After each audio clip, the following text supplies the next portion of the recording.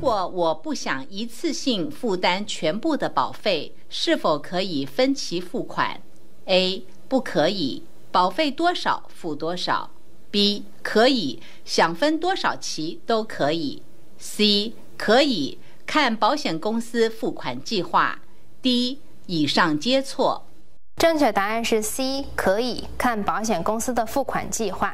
其实保险公司都会有不同的付款方式和付款计划，那么您可以根据自己的需求来选择相应的付款方式。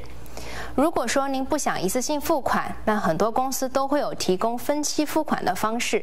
但是呢，分期付款一般都会存在一些相应的手续费，所以你选择多次分期付款就会比少次多期付款要付更多的钱。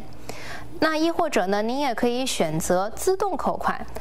但是自动扣款呢，就是说保险公司每一个月会从您的银行账户自动划账。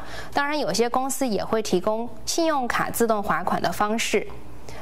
相比来下呢，那会比您收到账单之后再去分次付款的方式会要少一些手续费。但是需要注意的一点是。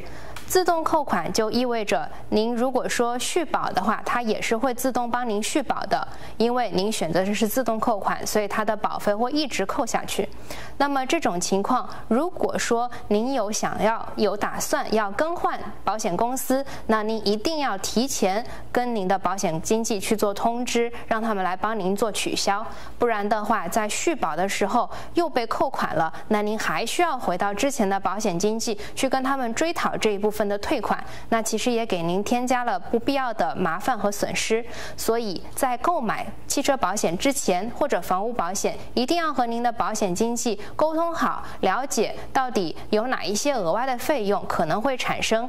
那这样的话，以以免之后不必要的一些损失和麻烦。